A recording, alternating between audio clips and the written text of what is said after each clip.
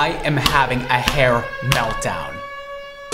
Hi, beautiful. It's true. I'm having a hair meltdown. I am just like the rest of you. I sometimes struggle with my hair. I hate my hair so much right now. Like, I hate, hate, hate, hate, hate, hate, hate, hate. Hate it. You know, people say hate's a strong word. I can confidently say that is the right word for this situation we're in. I don't like the length. I don't like the color. It's like pink in some spots. I don't know why. It's freaking me out. I need to fix it. And today I was supposed to film another video. And then I was like, you know what? Why don't we just film me fixing my hair. I want pale white ash blonde. My hair might be a little crispy, but I'm gonna show you a good way of doing a bleach bath with little damage. Because anything with bleach is damaging, okay? It sucks. It's the reality of life. Okay, so to fix this hair disaster, I wanna show you right now what's going on. I am actually embarrassed. I don't know how it got this bad. When I went red, it destroyed my life. This was my hair red or copper. Yeah, don't do that to yourself if you plan on being blonde again. It causes so much damage. I don't know what I was thinking. I actually wasn't thinking when I did that. So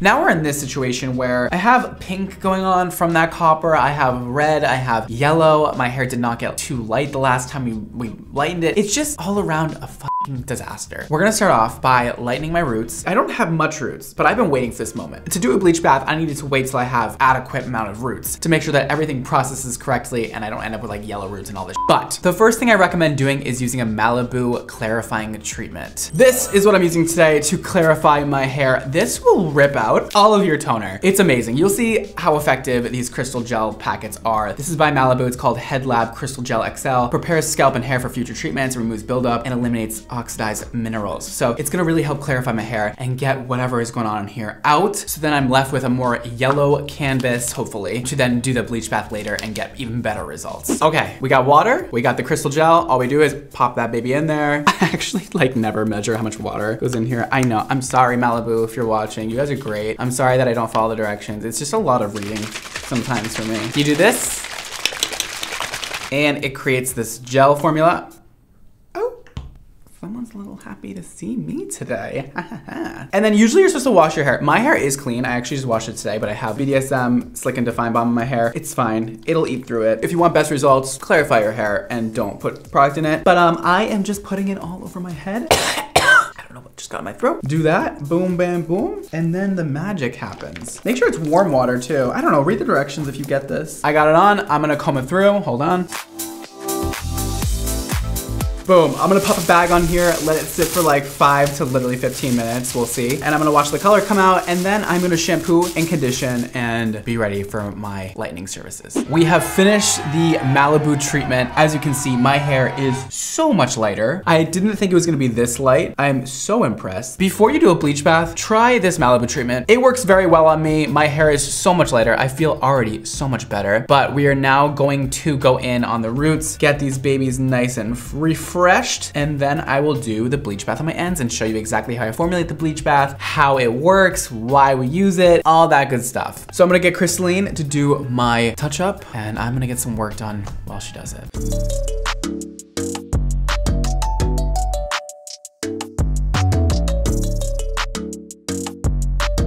Okay, we have finally made it to bleach bath time. Woo! That's what you all came here for, and we're about to do it, baby. We're about to bleach bath my fucking hair that might fall off my head, and it's gonna be great. Um, luckily I have fine hair. For some reason, fine hair just tends to like stay in the head. You would expect the opposite, but my hair doesn't snap off. Like I can do so much to it and it's fine. But today's a little risky because it's like the seventh time I've lightened my hair. Yeah, okay.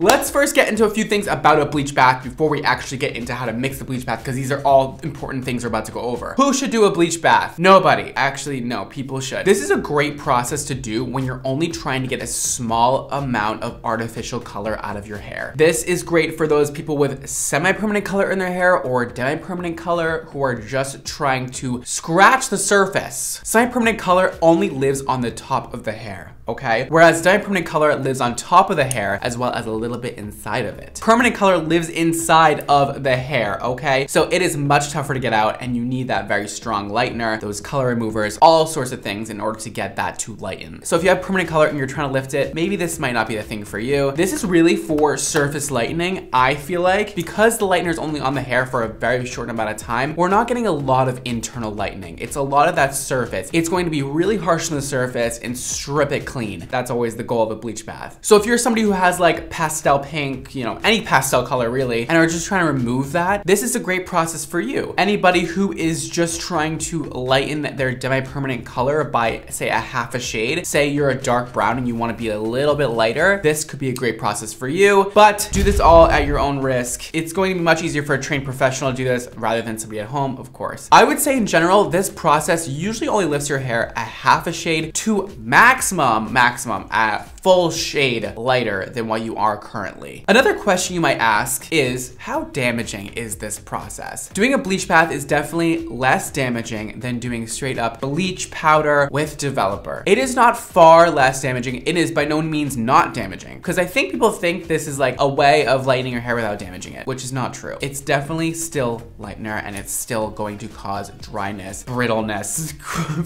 upness to your hair. This can be applied to the hair within a minute, which really helps make sure that everything lightens evenly and at the same time, and the process is very quick. That is where the advantage is. Because you have that shampoo in the formula, which we'll get into formulation later, that shampoo helps get that lightener on the hair very quickly and has that sudsing effect to it that helps distribute evenly to the hair very quickly. So the goal is to expose the hair to lightener for a lesser amount of time than we would have had to with a regular powder lightener and developer mixture. Now, you're gonna mix up your lightener first, okay? I'm doing powder lightener with my 20 volume developer. You can do like a one to two part ratio, one part powder to two part developer. I tend to go for a 20 when I'm trying to do a bleach bath. You can use a 10 if you want a very, very, very gentle lift. It might not even lift your hair half a shade. 30 volume is obviously gonna give you more lifting power than 20 volume. So if you want that extreme bleach bath, you have some extreme circumstance, you really need to get that out immediately. Maybe go there, but I would personally stick with 20. It all depends on the situation, okay? I can't examine everybody's hair through the screen or give you recommendations for every single person. I like to get a creamy consistency, you know, a nice whipped consistency. Okay, this is the vibe. See what I'm doing right now? Great, looks gorgeous. Now, after you mix that formula, you're gonna add equal amounts of shampoo. So however much lightener you have, that's kind of like the rule of thumb. I mean, sometimes I add less. Basically what happens when you add the shampoo is it's diluting the formula. You're gonna bring that 20 volume down a bit, okay? So it's not gonna be as powerful. If you add less of that shampoo, you're gonna not dilute the developer as much and the developer is gonna stay strong. I sometimes do equal parts. Often I choose to just put in a big circle of shampoo in there to get that sudsing moment going on in the hair, just to get that surfactant in there to help me distribute the product onto the hair quickly, effectively, and evenly. Oh, I also put Olaplex in mine. I did a little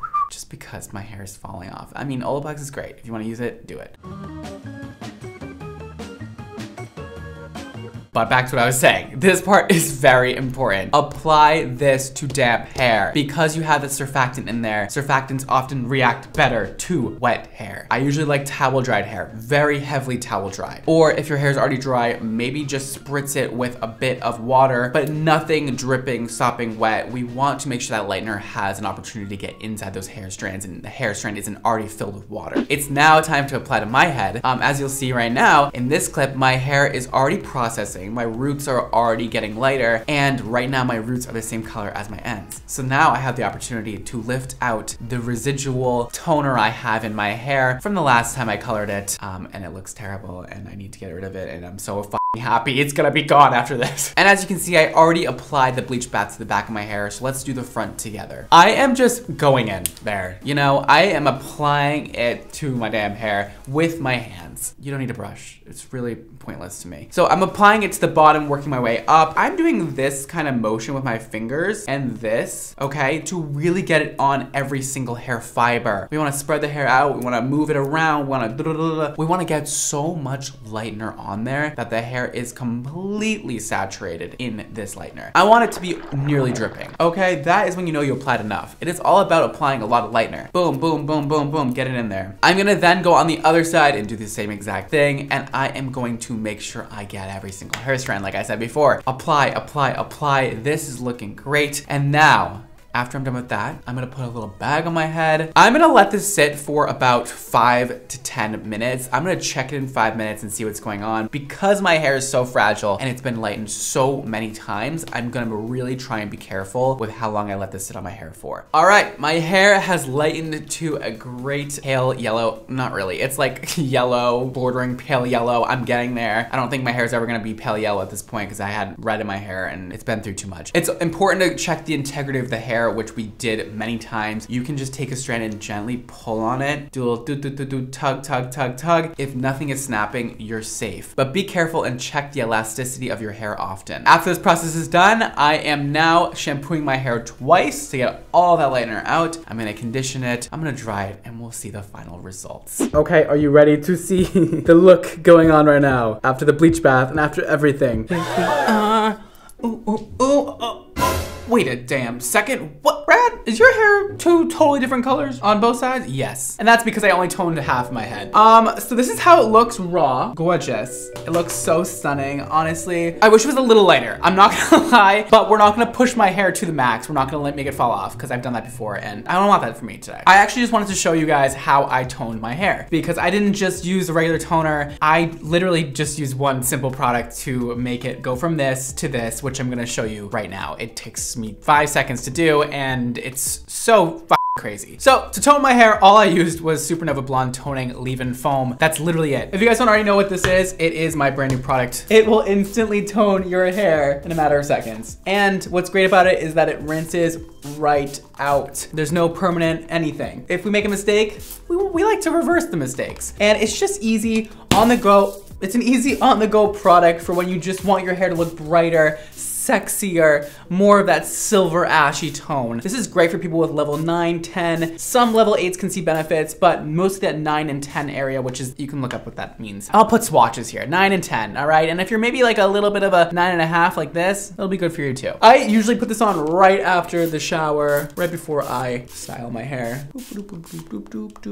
Now we're just gonna take our foam and you'll see it is a very purple color. And I'm just gonna go like this to apply it. Now this does feel sudsy like shampoo. Do not worry, it will dry completely as if there's nothing in your hair. Hold on, I'm distracted. Look at how much it's already changed my hair color. Sorry, every time I do this, I am like, what the fuck? I didn't have to go off this hard, you know what I mean? Like I didn't have to pop off this hard when I made this product. So I'm just gonna put enough all around so it's covering every single hair strand. Great. I'm just gonna comb it through, just like this. Oh, at that icy, icy, icy blonde. And what's great about this product is that it has Bond Builder built into it, so it is going to make my hair healthier, feel healthier, look healthier, be healthier inside and out, and just look all around so much more glossy and shiny. And you'll see that your style lasts so much longer against the humidity with this product in your hair. Oh my God, look how silver my hair looks. All right, now the last step is just to blow dry it.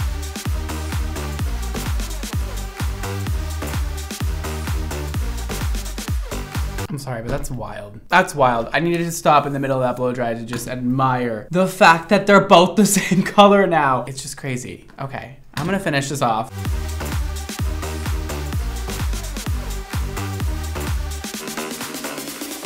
And there we go. Both sides of my hair are the same color now. This is the end result. Do I wish it was a little lighter? Yeah. You guys are gonna think I'm sick for saying that, but I, it's I'm serious. I really do wish it was lighter. Now that I can't see anything, I hope you enjoyed that process. That is how you do a bleach bath, among many other things I explained in today's video, but you can get really serious, great results just doing a bleach bath by itself. I'm actually happy with my hair, I decided, so that's good. It's blonde enough for now. Anyways, if you like shop anything in today's video, like Supernova Blonde Toning Foam, leave-in foam, you can do so with the link right down below or go to xmondohair.com. That is all for today, guys. Thank you for watching. Don't forget to live your extra life, and I'll see you next time. Bye.